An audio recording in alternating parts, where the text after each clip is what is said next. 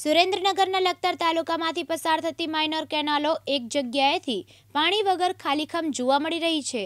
ત્યારે પાણી વગર ખેડૂતોના પાકો નિષ્ફળ જવાની ભીતિ સેવાઈ રહી છે.